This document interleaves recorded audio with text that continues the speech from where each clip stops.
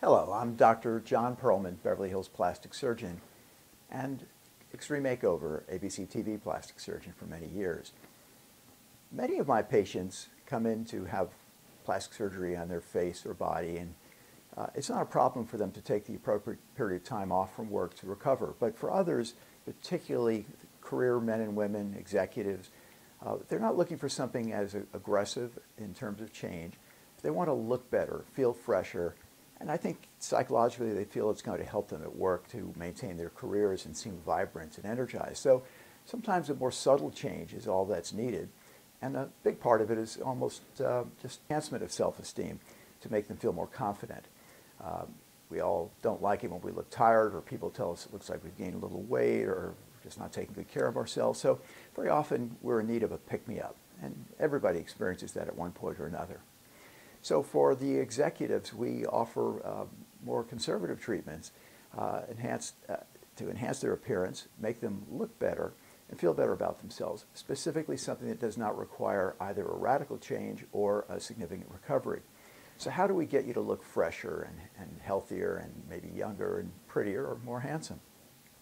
Very commonly, uh, people come in and they are aware of wrinkles. So treatment with fillers or uh, Botox, botulinum, I commonly use uh, a competitive brand called Xeomin, uh, paralyzes the wrinkles, uh, the muscles that cause the wrinkling, and can make somebody look uh, much younger and, uh, and fresher looking. botulinum toxin can be injected into the crow's feet, the vertical eye lines, or the 11 lines here, and into the horizontal forehead wrinkles, but can also be used in more subtle ways to reduce the banding of muscles in the neck, to raise the corner of the mouth, to make people look fresher and, and without giving any obvious uh, indication of what was done. Uh, additionally, fillers are so popular because they can strengthen the cheekbone area, they can soften the deep lines between the corner of the nose and the corner of the mouth, called the nasolabial lines, and can really uh, enhance uh, areas that are hollowed or uh, too thin to make somebody look robust and healthy. The key thing, of course, is not to overdo it, but it's a procedure that can be done in the office in 15 or 20 minutes, just like the uh, botulinum injection, and somebody can literally go back to work the next day without any telltale signs. There's a little bit of swelling, maybe a needle stick mark, but not much.